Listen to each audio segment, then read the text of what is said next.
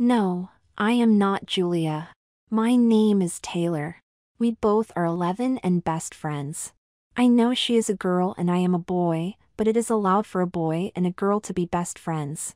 I actually forgot how we became friends. We just were always friends. To tell you the truth, I forgot how we became friends. According to Julia, we became friends on the first day of kindergarten. I was being sad in a corner because my mom left me there. Julia saw me nearly in tears and came over to play with me. She thought I was cool because I was not afraid to play with Barbies. Since then we have been best friends, and despite she didn't live that close to me, we were often together. Of course, everyone thought we were boyfriend and girlfriend. This was not true. I didn't think of her as a girl. She was just a friend. Julia had no dad, so she was like me. My dad disappeared when I was born.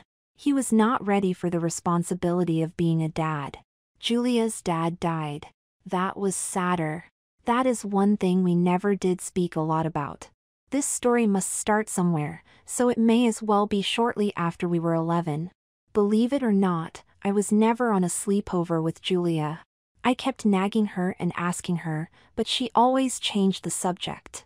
However, now she said it was okay. I don't know why I was so excited about a sleepover, but I counted the days until it was time for it. Julia's house was pretty much like any other home.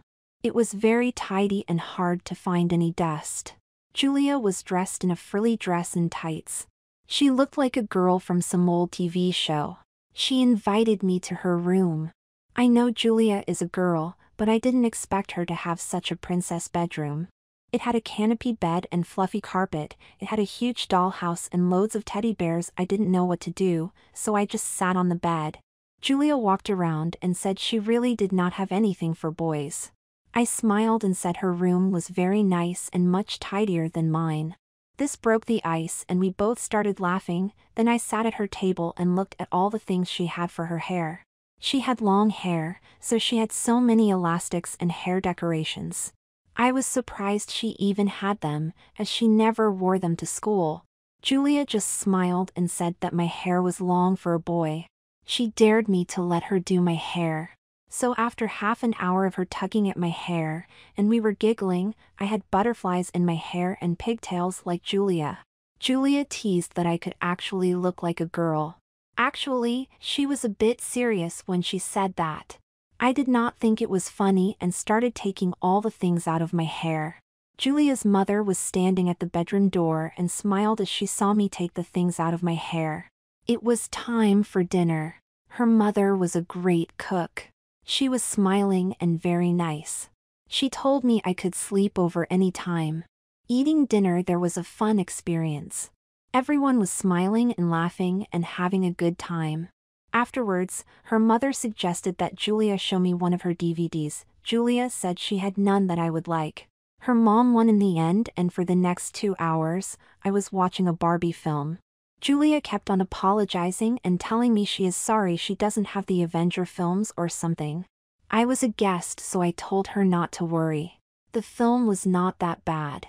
It did tell a story and I didn't really mind it. After, we were getting ready for bed. I put on my Iron Man pajamas. Julia got changed in the bathroom. When she came back, she had a nightdress. You know I never wanted you on sleepovers? she asked. Yes.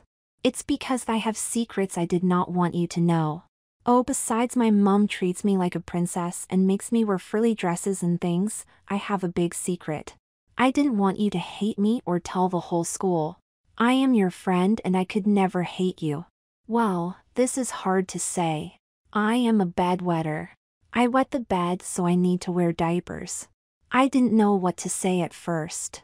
I heard of bedwetters but never thought that they would be wearing diapers when they were 11 years old. I could see that Julia was nearly in tears waiting for a reaction. I didn't know what to say so I told her that it didn't matter.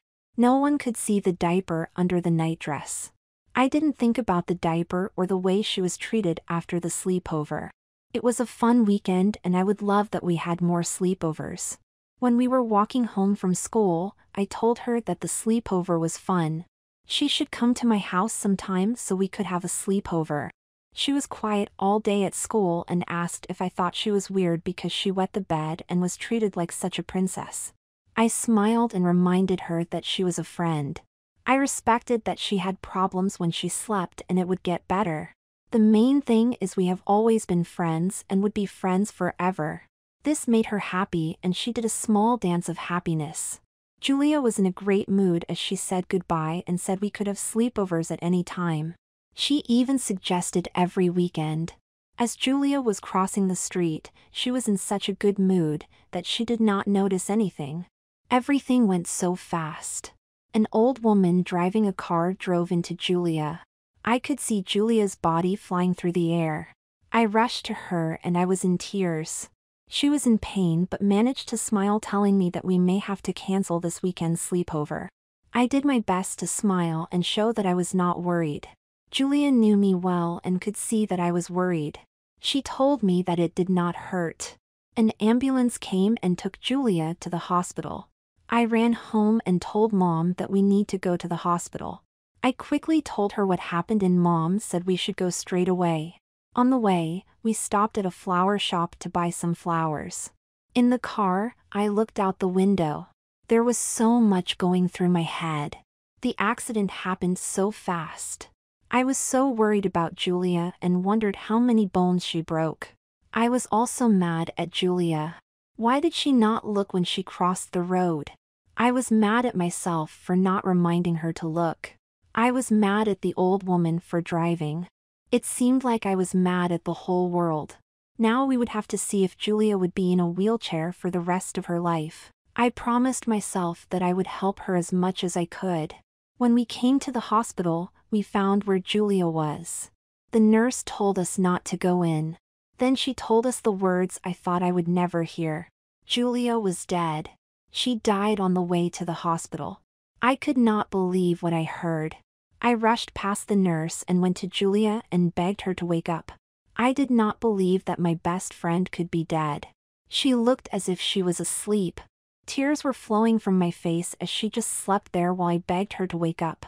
Mom came in and helped me to move away from her. We sat on a sofa outside the room. I do not know what Mom was saying. She was going on that at least Julia had no more pain and was in heaven.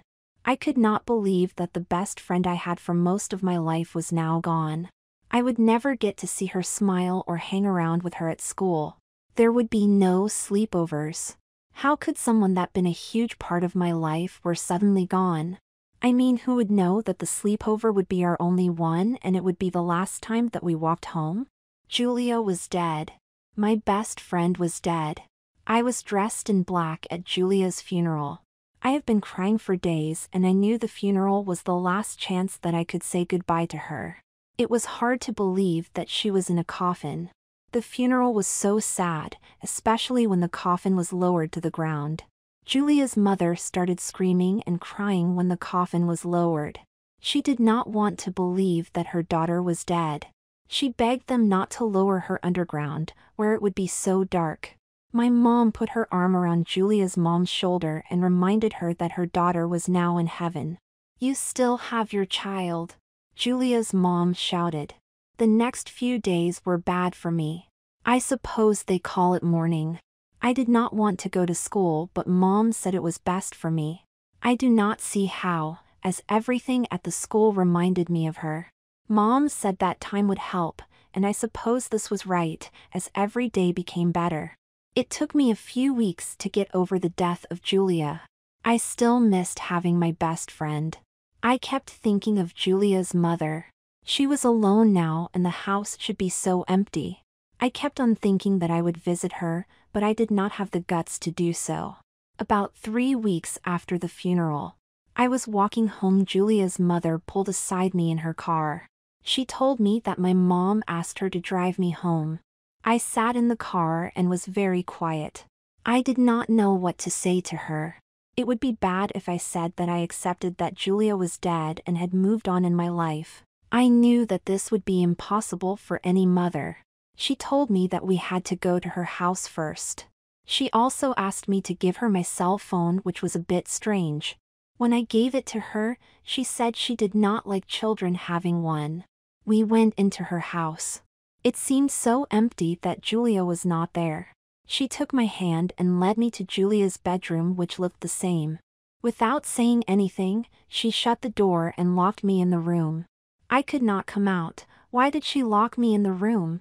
I was now in Julia's room, which was a strange place to be. I was only here once before and that was a sleepover. It did not occur to me that Julia's mom had kidnapped me. I was so confused as to why she locked me in. Was it some type of a game or something? I had nothing to do, so I just sat in a corner. I didn't cry and I was not afraid, because I was sure that she would open the door and say it was just for fun. Time went by and then I started becoming more worried. I was thinking about mom wondering why I was so late. She would be worried. I started to think that mom did not ask Julia's mother to pick me up. Maybe she wanted to kidnap me. The big question is why would she want to do that?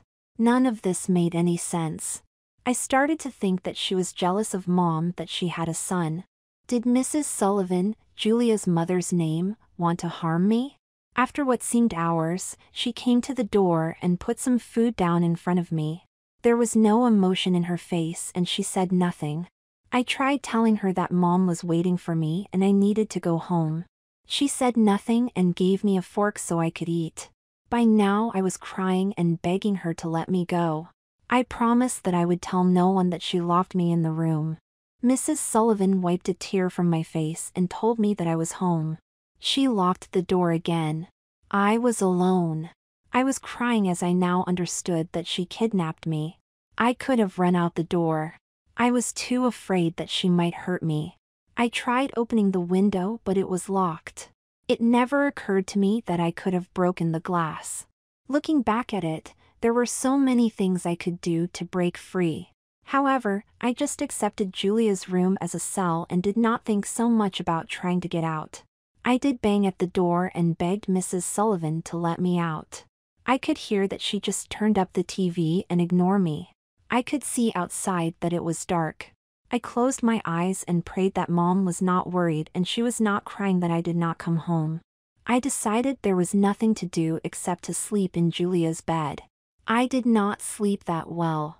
The next morning, Mrs. Sullivan came in and told me it was time to get up. Can I go home today?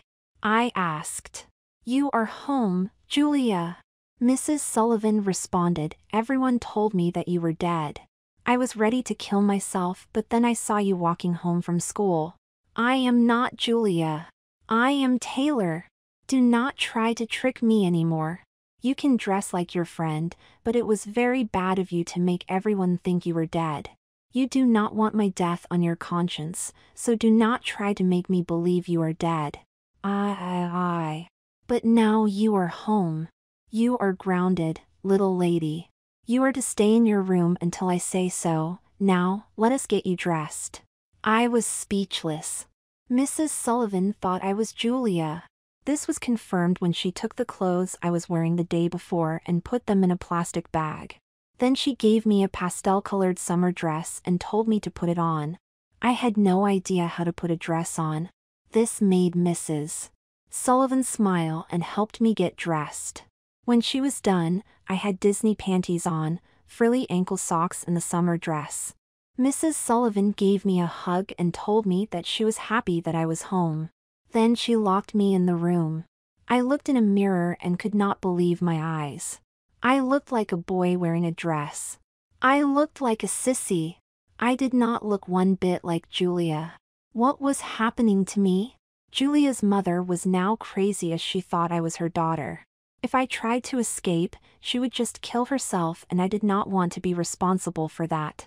The big question is what should I do? There was only one answer. I had to survive and hope that Julia's mother could see reality again. Wearing a dress was strange, it was like I needed pants as I could fear the air against my legs. It also made me feel pretty, which I did not know what to think about. I did not want to get it dirty or anything like that. Wearing a dress screwed with my mind a lot.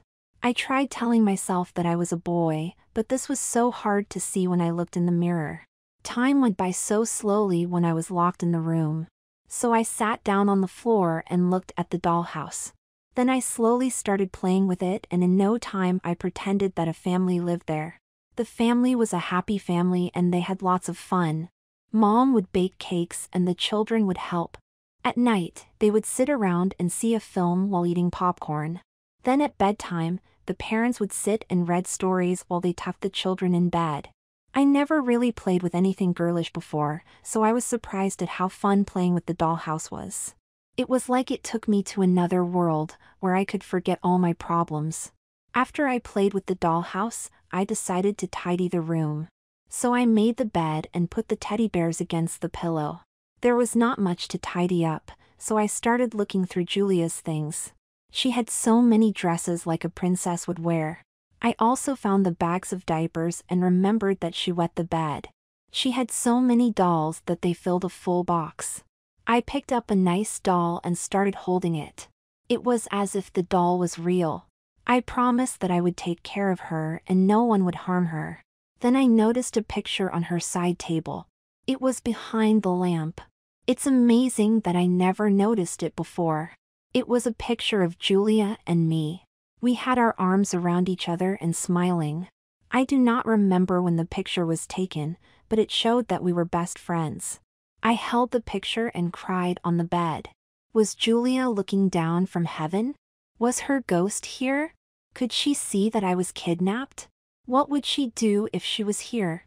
As I was on her bed, I cried as I missed her so much. In a way, I could understand that her mom went crazy. Then her mom came in and told me that it was time to fix my hair. She noticed that I was crying and gave me a hug saying that everything will be fine. She told me that she was mad at first that I cut my hair, but it was good that she was good at fixing my hair. For the next hour or so, she started putting hair extensions in my hair. I was looking in the mirror as she did this. My boy's hairstyle was slowly disappearing and it was getting long. The hair extensions were now way past my shoulder. It hurt a bit as she put the extensions on, but worse than that, I felt that my identity was being destroyed. I was beginning to look more and more like a girl. When she was done doing this, she braided my new hair into some pigtails. I wanted to shout at her that I was not Julia, but I also knew that she would probably go and kill herself. I did not want this to happen. I looked in the mirror when she was gone, and for a brief moment, I saw Julia in the mirror. It made me realize how serious this kidnapping was. I was no longer Taylor. Mrs. Sullivan has killed him and made me into her daughter. She told me that since I was a good girl, I could eat dinner with her and come out of the room. So for the next hour, I sat in the kitchen and ate some food. I said it before, but Mrs. Sullivan was a good cook. She was smiling as I ate and told me that she missed it when we ate together. I just ate and said nothing. I was hoping that she would suddenly realize that she kidnapped me, this did not happen. She was telling me how to eat in a ladylike manner. I helped her clean up afterwards. I always hated cleaning up but it was better than being locked in the room. Mrs. Sullivan told me that she stopped her job.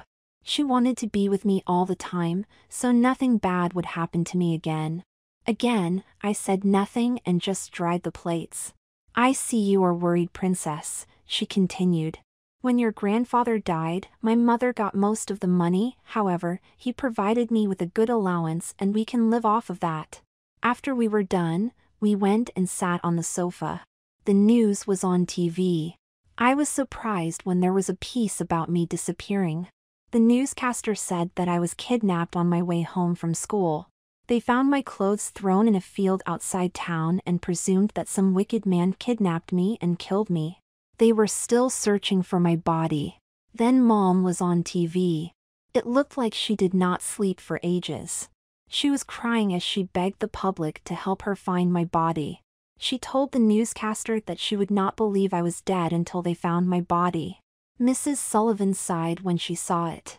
She told me she knew I was worried that my friend was dead, but at least I was safe. I wanted to scream once again and say that I was Taylor and could she see how sad my mom was because she thought I was dead. As I was about to speak, she told me it was time for bed. As Mrs. Sullivan helped me take off my dress, she told me to lie on the bed. Before I could think of what she was doing now, she put a diaper on me. It felt like a huge thing between my legs. Like I was wearing 100 pairs of panties. I felt like such a baby. It didn't help that I started to cry and say that I did not wet the bed. Mrs. Sullivan put a pacifier in my mouth and told me not to talk nonsense. Of course, Julia wet the bed. So as far as Mrs. Sullivan was concerned, I needed to use a diaper. Mrs. Sullivan left me and I noticed this time that she did not lock the door. This was my chance. I could escape. This whole kidnapping was very weird.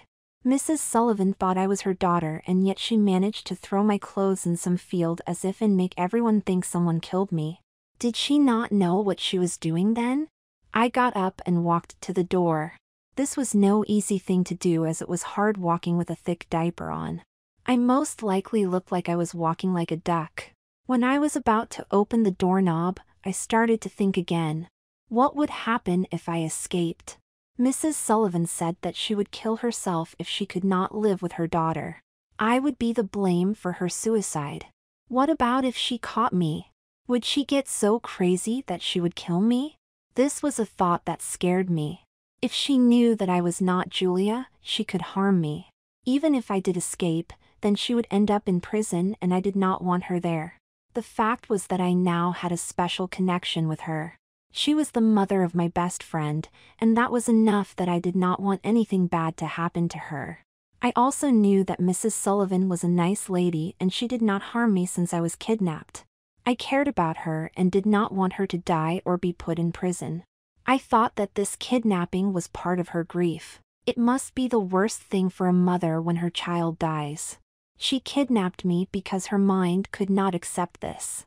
I figured that in time, she would remember and then know what she has done to me. She would let me go and I would tell no one what happened. That was my plan. I went back to bed and smiled thinking at least I would not need to get up and go to the toilet. I suppose this was my way of trying to be positive. I tucked in the doll I had all day and sang her a lullaby mom always sang to me. The next day, Mrs. Sullivan woke me up. She took off my nightdress and diaper and told me to lie on the bed. I told her I do not need diapers in the daytime. She smiled and told me that she was thinking that I was not that old.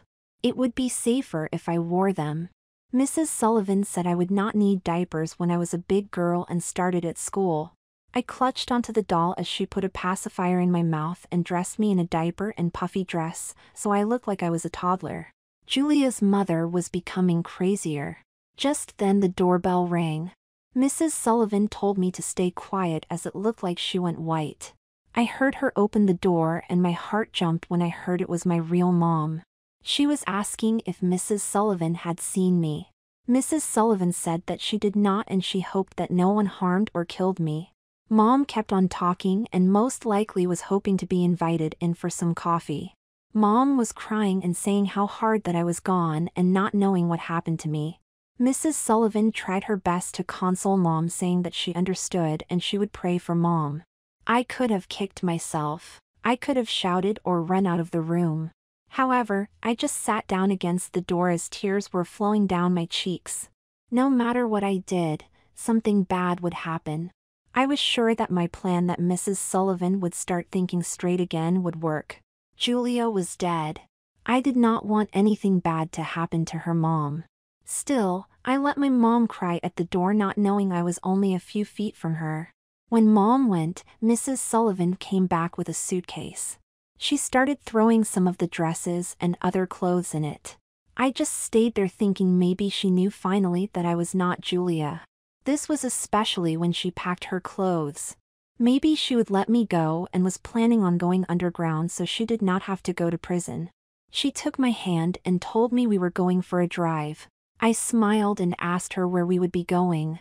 We need to go far away from this town. Where it is not dangerous and we will be left alone. Mrs. Sullivan told me that we were going to Granny's. I never met Julia's grandmother. I was sure that she could sort everything. It was a long trip and I fell asleep for most of it. When I was awake, Mrs. Sullivan was talking with herself. It was like she had to convince herself that this trip was wise. It is too dangerous in that town, she mumbled. Children die and children go missing, it is too dangerous for us, people would want to bother us all the time, they might not think I can take care of you. They do not understand you're my princess and I want to protect you. I told Mrs. Sullivan that I wanted to go home. I told her that I was not Julia and I was Taylor. I was crying as I was begging her to take me home. She did not hear what I said. All she could see was that I was crying and wearing a dress. She gave me a pacifier and told me that we will be happy at Granny's. The important thing is that we would be safe. She promised me that I would love it there and I would have many friends when I was old enough to go to school. I did not know who was crazier. Was it Mrs. Sullivan that thought I was her toddler daughter? Did the grief of losing her own daughter screw with her mind so much that she could not see that I was a boy that she put in a dress and diaper? There was no doubt that this woman was totally crazy and needed to be in a padded cell. What about me? I put up no fight as she slowly changed me into a sissy. I did not fight when she put extensions in my hair, or when she put a diaper and dress on me. I did not even spit the pacifier out. There were many times I could have escaped and I could have screamed when my mom was at the door, so she could hear me. I accepted her treating me like her daughter. The fact was that I was now sitting in a car in public, and anyone that could see me would think that I was a girl. I was afraid to escape what may happen. You never know what crazy people would do. This being said, I must have been just as crazy for allowing everything to happen. After five hours of driving, we finally came to Granny's house. It was a nice old house in a small town. It was like one you would hear about that people would love to own. It was a two-story house with a nice garden and white fence and flowers Granny was surprised to see us. I think she was most surprised to see me. She stared at me as I came in and was silent when Mrs. Sullivan called me Julia. She invited us to sit and have some lemonade. The old woman did not say much when we arrived. She just acted like nothing was strange. While we were drinking lemonade, Mrs. Sullivan told her mom that she was moving back home.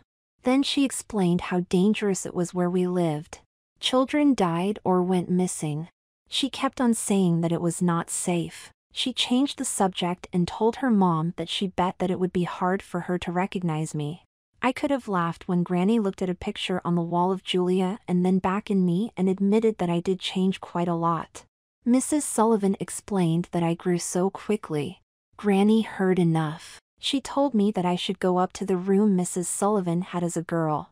I was hoping that she would call the police straight away. The thought went through my mind that now I had to deal with two crazy women. Most likely, it ran in the family. She showed me the room and told me that she would be back. The room was a princess room with pictures of Disney princesses on the wall. I smiled when I saw there was a dollhouse. Otherwise, it looked like a girl's room from a half century before. I sighed as I put the suitcase on my bed and slowly took out all the dresses, blouses and skirts as well as tights. There were, of course, no pants that could have helped remind me that I was really a boy. There were no panties which told me that wearing diapers was going to be part of my life. This was confirmed by the pacifiers and even the baby bottle that I found in the suitcase. I heard the two women talk below. I did not know what they were saying, but at times their voices were very loud, so they must have been arguing. Most likely Granny was asking who I really was and telling Mrs. Sullivan that Julia was dead. I continued unpacking for some reason, although the police could be knocking the doors down to save me. The voices calmed down and it was quiet. I dared not go down. I just sat down by the dollhouse and played with it. A small family lived in it. It had a mom and dad and a son. The dad was never home. He was always working. The mom was a good one, but she was worried. Her son was very feminine and liked wearing girl clothes. In fact, the boy considered himself a girl and thought God made a mistake in giving him a boy's body. His mom was worried about having a sissy son. This was especially because people teased him and his dad was ashamed of him. However, the sissy boy had enough love from his mom and she even started to think of him as her daughter. My playtime with the dollhouse was interrupted. Mrs. Sullivan said that we needed to go to the shop. This made my heart race quickly as it meant that I would be in public dressed like a girl. I tried telling Mrs. Sullivan that I did not want to be seen with a dress on. She smiled and told me not to be such a tomboy. I told her that I was a boy and I was not Julia. Again she did not listen, she just said that we needed to change my diaper before we went. So I was put on the bed and the old diaper was taken off. Granny was there. It was embarrassing that she could see my private parts when the diaper was taken off. I wondered if she would faint knowing that I was really a boy. I stopped thinking about how Mrs. Sullivan could not see it. She was just crazy. The question was if Granny was just as crazy. The trip to the store was the most frightening experience in my life. I was worried people would see that I was a boy and think I was a sissy. Walking through the shop doors must have been the most courageous thing I ever have done. I also noticed a missing picture of me on the door. Would people notice it was me or would they just think I was a girl? It was easier than I thought.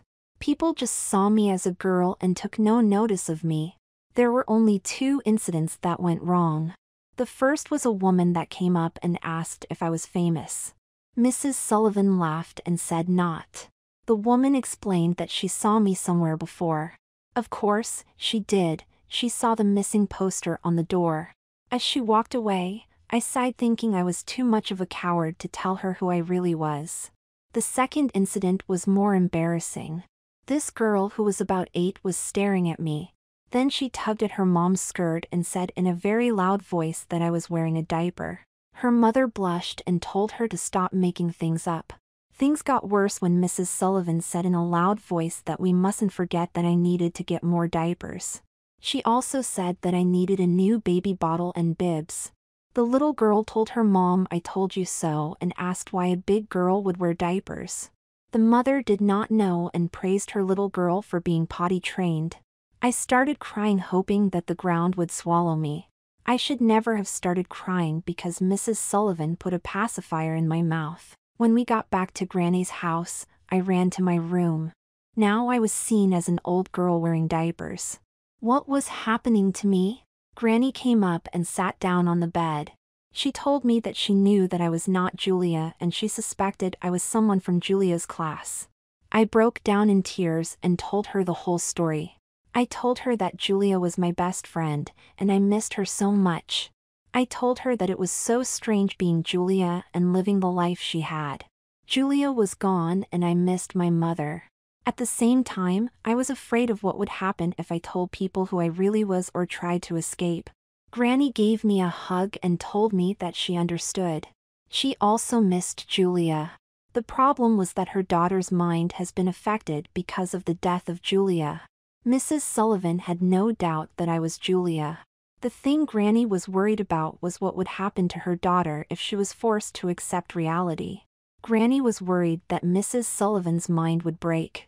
She would either be very violent or end up as a vegetable. Granny told me to give it a week or two, so she could try and slowly bring her daughter back to reality.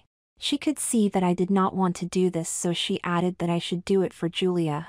How could I ever say no to this? I would do anything for Julia. She gave me a hug and told me that she was so grateful. I asked about my mom and said she was so sad and worried. Granny did not answer but changed the subject by saying I was good at being a girl. She told me I must enjoy the nice dresses and life as a girl. I did not comment but noticed I had a doll in my hand. The two weeks went slowly by. There was no change. I was still Julia and living her life. I wore one pretty dress after another. Mrs. Sullivan would use a lot of time brushing my hair and putting it in pigtails. I could not see that she was becoming more normal. In fact, she was becoming crazier. She was treating me more and more like a baby. I had diapers most of the time and used things such as pacifiers and bottles. She even made me sit in a high chair. One day, she said she had a surprise for me. So Mrs. Sullivan and I went on a drive. I was used to being in public now, so it did not bother me as much. She told me we were going to the water world. I loved swimming and did not even consider the problems it could have by swimming. I would soon find out. Things started well. We got changed and I had this one-piece swimming costume on. It was pink with Barbie as a mermaid on the front of it. I did not complain, to be honest, I did not think about being a boy anymore. It was like that I just considered myself a girl as I acted and did things like a girl. Maybe this was after weeks of living as one and maybe I was brainwashed. Swimming was fun as we splashed around in the water. I think it was the first time in weeks that I was so happy. The other time I was happy was when I was taking care of my doll or playing with the dollhouse. Now, I was splashing around in the water and having fun. I wished that this would never end. Everything went fine until we were done, and ready to go back to the female changing rooms to get changed. This was no problem when we came as we got changed in a cubicle so no one could see me. Sorry, you cannot go in there, a lifeguard said. What is the meaning of this? Mrs. Sullivan asked. Transgenders must get changed in the handicapped changing room. This is our policy. How dare you call Julia a transgender? She is just different than other girls. The lifeguard pointed down at my privates and the swimming costume clearly showed a sign that I was not a girl. This embarrassed me and I wondered how many others in Waterland could see the same. The lifeguard said that he would call the police if we argued about where we should get changed. Mrs. Sullivan was upset when we waited for our clothes and when we got changed in the handicapped room. She was saying that we were treated wrong, and how dare people imply that I was a sissy. I tried telling her that people did not have to be blind to see it, but once again she did not hear me. Mrs. Sullivan was in a bad mood all the way home. I just sat and thought how crazy could she be, that she did not see what others have seen, the whole experience was a lot for everyone. Mrs. Sullivan thought that the world was crazy with all their transgender accusations and she wanted people just to leave us alone. Granny kept on telling me to give her more time, but I was becoming more and more confident that Mrs. Sullivan was becoming battier. I was also getting more and more concerned. I was still afraid of what would happen if I escaped and the consequences were a responsibility I could not deal with. I missed my mother as much as ever but felt so sorry for my best friend's mother. I was doing this for Julia. Is this what she really wanted? Another thing that worried me was that at times I forgot I was a boy. I was now used to dressing as a girl. I liked looking pretty and I loved it when Mrs. Sullivan brushed my hair. The fact was that I should not have wanted to look pretty, but I honestly did. Even the diapers did not bother me anymore. The fact was that after weeks of not being on the toilet, I needed them. I had no longer control of my bladder. I even liked the attention I got when I was treated like a baby. I was now a sissy baby. Mrs. Sullivan came home one day and was in a great mood. Julia, she announced, I have something good to tell you. I met an old school friend who is a surgeon. After some convincing and some money, I have convinced him to have you as a patient. I don't need to go to the hospital. Oh, sweet Julia. You must be embarrassed when people point at the bulge in your swimming costume and say you are a boy. Dr. Rivers will make sure you have the body of a girl and no one would be in doubt. I ran to my room and threw myself on the bed. Mrs. Sullivan was now so crazy she wanted someone to take a knife and cut any evidence I was a boy from me. She wanted me to be a girl and have a girl's body. She wanted no one to be confused or call me transgender again. She was going to. I did not mind wearing girls' clothes or playing like a girl. I did not want anything cut off. Granny came into the room. I was sure she was going to convince me to go along with the operation. Instead, she gave me a telephone and told me to ring my mother. Then she walked out with tears in her eyes. Things happened quickly after I spoke with my mom. The police came and arrested Granny and Mrs. Sullivan. I was led out of the house wearing a dress while the media took pictures of me, and a police car drove me home. I finally escaped. Mom was surprised to see me as a girl, but when I told her everything, she told me that I was brave.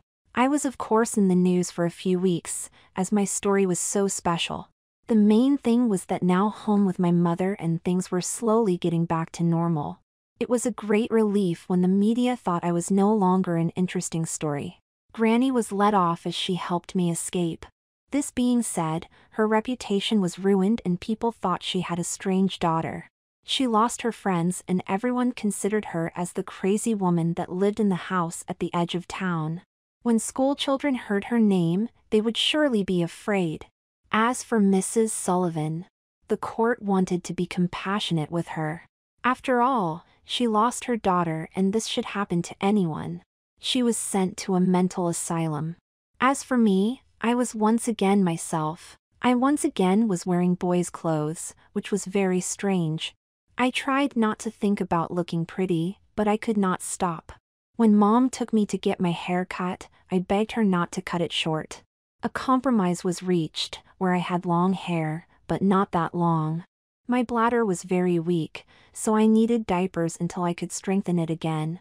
Mom did not like this and I was teased at school. I didn't mind. I felt secure when I had them on and I liked the extra attention I got. Mom was nice about things. She knew she now had a feminine son, or as some would say a sissy one. She allowed me to keep the doll and she even bought a dollhouse for me. Of course, she thought it was just a phase. It was no phase. I still had feelings for Mrs. Sullivan, she was like my second mother. I wanted to visit her. Again mom agreed to this. We agreed on a day when we would visit Mrs. Sullivan. We argued before we went when I was ready to go and went downstairs, mom got mad and said she could not accept it. I was dressed as Julia with a dress, tights, and sandals on. Mom told me to dress as a boy, we had an argument over it as I told her that Mrs. Sullivan did not know me as Taylor. In her eyes, I was Julia. This calmed Mom down and she agreed that it was considerate of me. On the way out to the car, she must have been thinking of it as she said when we got home, we would have a talk about if I felt more like a girl than a boy. At the asylum home, Mrs. Sullivan was sitting in a rocking chair singing lullabies to herself. She smiled at me when she saw me. Julia, they let you visit me. I knew all their talk that you were dead was just their games.